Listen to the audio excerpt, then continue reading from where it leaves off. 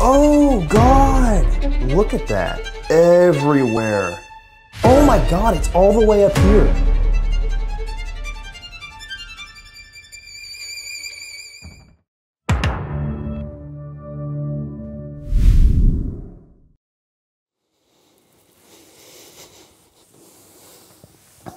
Are you ready to get started? Well, I guess we gotta start at some point, right?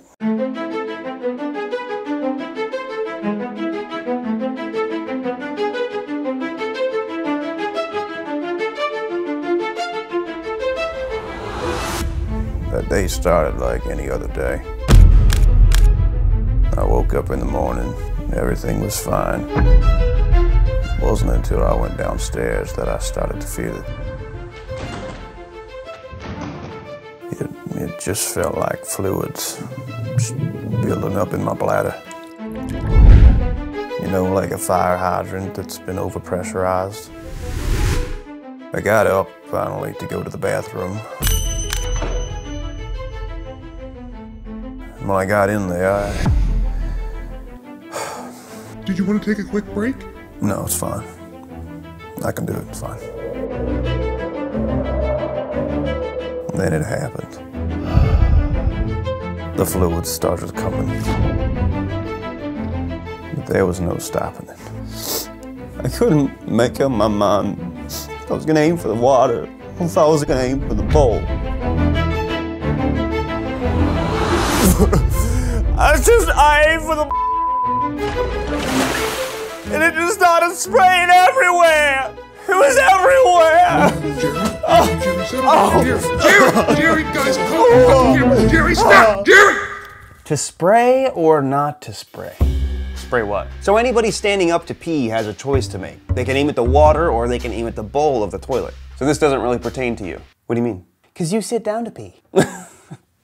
He's not kidding. Some of us aim for the water and some of us aim for the toilet bowl. If we're trying to be quiet, most likely we aim for the bowl. If we're feeling a little reckless and we don't care how much noise we're making, then we just aim for the water. But if you're anything like me, you've probably asked yourself which is the best to aim at to get the least amount of splashback. I'm just referring to any of the urine that splashes back out of the bowl onto anything else. The sink, yourself, the toilet paper roll, the walls, the floor, anything. So, the only way to get a real answer for this is to conduct an experiment. But before we conduct anything, I need to discuss what I think the best method is. I'm kind of on the fence. When any stream of liquid hits a solid surface, it's going to splash back. Now, depending on how much actually splashes back has a lot to do with the pressure behind the fluid and also the surface. Is it flat? Is it convex? Is it concave? And when you shoot a stream of liquid into water, you're also going to get splashback. Now, toilet bowls are concave, so I feel like when you shoot a stream of water, urine, into the toilet bowl, it's actually helping to retain some of the liquid. But when you aim at the water, I feel like you're getting more of this cannonball effect. So I would personally have to say that you're getting more splashback by aiming at the water in the toilet bowl than you would if you aim at the side of the bowl. So let's find out which method is best.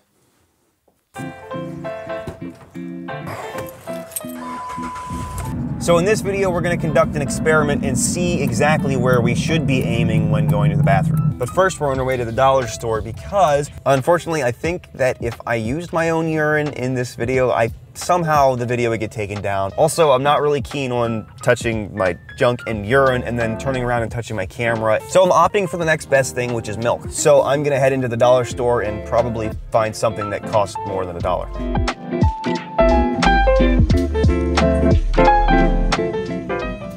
We actually found something in here that costs a dollar. Four of these just because I know that I'm gonna use them. Milk, milk, milk, milk, milk.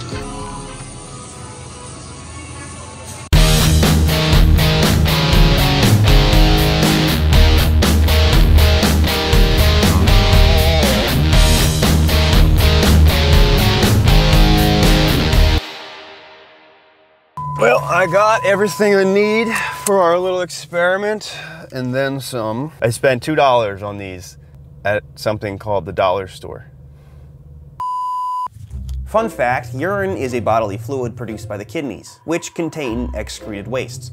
Your urine is composed of water, electrolytes, and nitrogen compounds such as urea. It travels from the kidneys down tubes called ureters and into the bladder. And of course, in the bladder is where your urine is stored. Right, so I got my milk, I got my paper, and I got a Red Bull. So before I do anything, I need to get the black construction paper set up around the toilet bowl. Um, so let's go do that.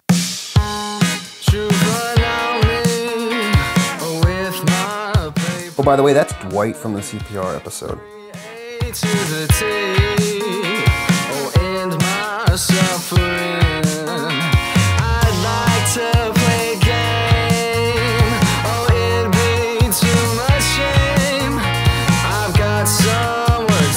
By the way, this is just an, easy tear shipping tape. Uh, it works just like duct tape. It tears just as easily, except it can actually be used for uh, shipping and packaging. I'll put a link in my description below for where you can find it. So for this to work right, I can't just dump it right out of here in there. I actually have to cut a hole in something, you know, around the size of a normal urethra. So I'm just gonna dump some milk into this bottle, uh, cut a little hole in the top, and hopefully that works.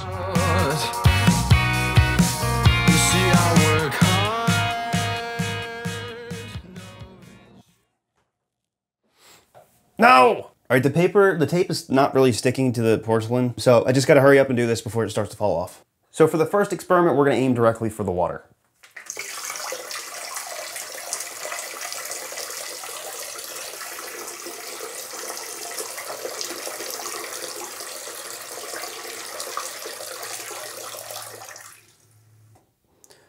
Honestly, there's like little to none. There's a little bit over there, a little bit down there.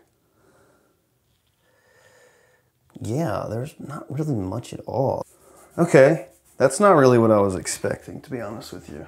I was expecting some more than that. I also feel like my camera's not picking it up as much as I'm seeing it. So let's check and see how much damage we can do by aiming at the rim of the bowl. Did you know that you can technically drink your urine? Notice I said technically. Yeah, but urine isn't sterile. Well, neither is your tap water. Sterile just means that there's no living organisms in it and it's free from bacteria. Even the CDC's website states that tap water isn't sterile, meaning it could contain some bacteria. Even when the public water system is working correctly, a small number of bacteria that naturally occur in the environment can still be present. Now, don't let what I just said scare you. Whenever we hear the word bacteria, we often think that it's bad. Not all bacteria is bad, but not all bacteria is good either. Our immune systems are immune to the local tap water that we grew up drinking. However, somebody foreign who is not immune to drinking your local water supply could fall ill from drinking it. This is exactly why they tell you not to drink tap water in foreign countries. It's not that the water is dirty, it's that you are not immune to anything that's in it. I am so guilty of this. Every time me and my wife go to Mexico, I somehow end up drinking the water. You brush your teeth with it, it's in any drink that has ice, and if you buy coffee from a local convenience store that was made with tap water, you'll get sick. You're an idiot, Cole. All right, hold up. If urine isn't sterile, but you can still technically drink it, then why do I have to wash my hands after going to the bathroom? Just think, think about that for a second. Okay.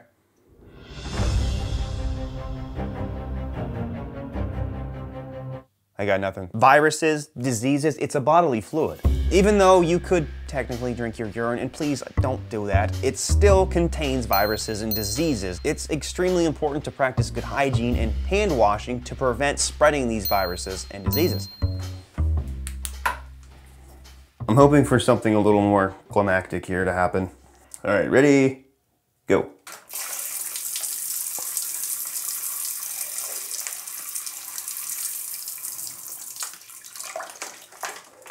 Oh God! I was not expecting that. I thought that this wasn't gonna work. You definitely can't see it from there. I have to take the camera off. Look at that. Everywhere. No way. That's, oh my God, it's all the way up here. If that paper wasn't there, the urine would have went all the way over to the sink here. I'm not gonna lie, that first test I was actually really upset with because I thought that this just wasn't gonna work. Granted, I was squeezing it a little bit harder than like the average pressure of somebody's urine coming out. But still, that's freaking insane. All right, so I was a little off with my theory. Is aiming at the water instead of the toilet bowl better at preventing splashback? No, it's not, surprisingly. However, I do want to leave you with this. The only thing that my UV light was picking up was urine. What about the toilet water that splashed back? The amount of bacteria, diseases, and viruses that come out of our front side is actually much, much less than what comes out of our backside. And toilet water can contain these diseases. So aiming at the water might actually not be the best idea. I have an idea. Oh yeah? Yeah, everybody should just take after you and sit down to pee.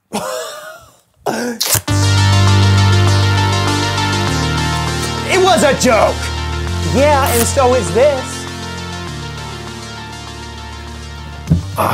If you're still watching, I just wanted to thank you. I'm a small YouTuber trying to establish myself, and any kind of feedback you can give me on the video goes a long way. Like, comment, subscribe, turn on the notifications. Literally anything you can do goes such a long way. So guys, thank you, and stay tuned for next week's video.